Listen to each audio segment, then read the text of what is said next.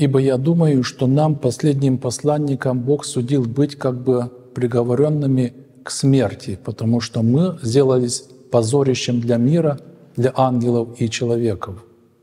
Мы безумны Христа ради, а вы мудры во Христе.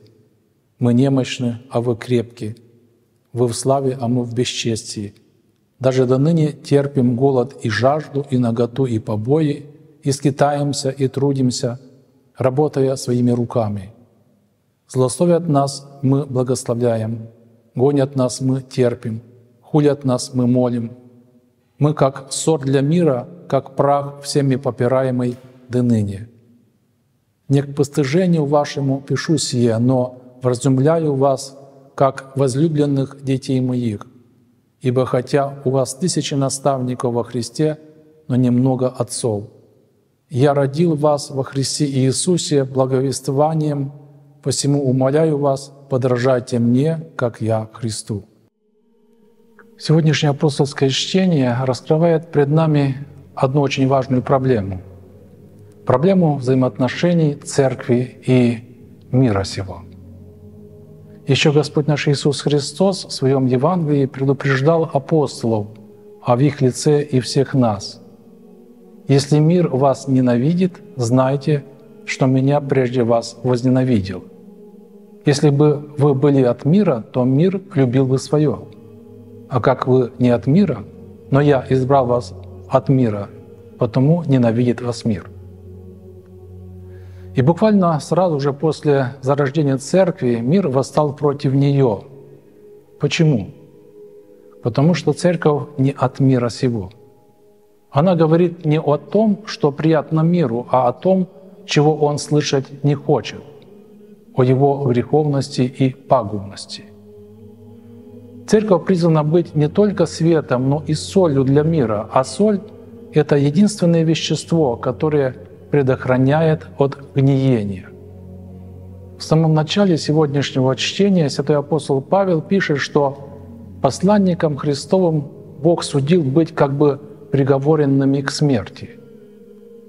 Святитель Иоанн Златоуст, размышляя над приведенными словами, как бы от лица апостола пишет «Возвещаю, что настоящее время не есть время почести и славы, но гонений и скорбей» Я вижу, что мы, апостолы, всех презрение и осуждены терпеть постоянные бедствия. Тех, которые посевают проповедь благочестия, Бог последними явил, как бы насмертниками, то есть как бы осужденными на смерть и достойными всякого рода смерти. Каждый истинный христианин всегда должен быть готов подтвердить свою веру исповеданием, то есть открытым признанием того, во что верит. Христианин — это зерно, а зерно может принести плод только том случае, если умрет. Удивительно, но факт.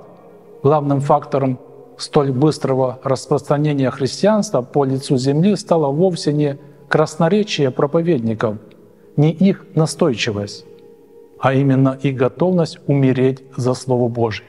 Один известный философ так и сказал, «Я верю лишь тем свидетелям, которые дали перерезать себе горло». И действительно, может ли быть что-то более красноречивым доказательством искренности убеждений, чем готовность за них умереть? Несмотря на то, что апостол Павел был убежден в правильности своих действий, он продолжает проявлять подлинно христианские ценности, скромность и смирение. Обращаясь к Коринфянам, апостол пишет, «Мы безумны Христа ради, а вы мудры во Христе. Мы немощны, а вы крепкие. Вы в славе, а мы в бесчестии». Поясняя данные слова, святитель Иоанн Златоуст пишет – чем более апостол унижает себя, тем более он возвышается.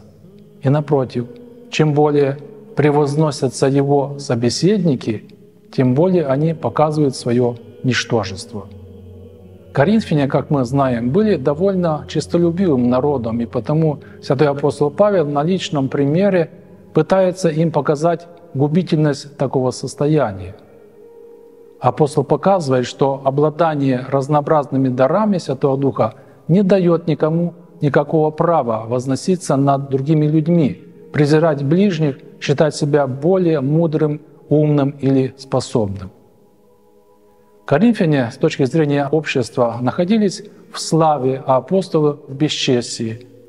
И тем самым общество показывает, что для него более ценно – слава человеческая или же слава Божья.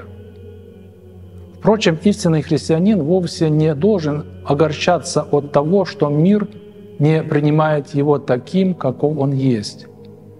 Отличие христианина от мирского человека – это вовсе не недостаток в очах Божьих, но преимущество. Ведь и сам Господь не вписывался в социально-политическую картину тогдашнего мира. Истинный христианин, по замечанию апостола Павла, как ссор для мира, как прах всеми попираемый. Отношение к христианству всегда было и особенно будет в последние времена как к чему-то враждебному, неприемлемому – Преподобный Антоний Великий даже говорил, что наступят последние времена, когда девять больных придут к одному здоровому и скажут, «Ты болен, потому что ты не такой, как мы». И такое отношение нисколько не должно удивлять истинных христиан.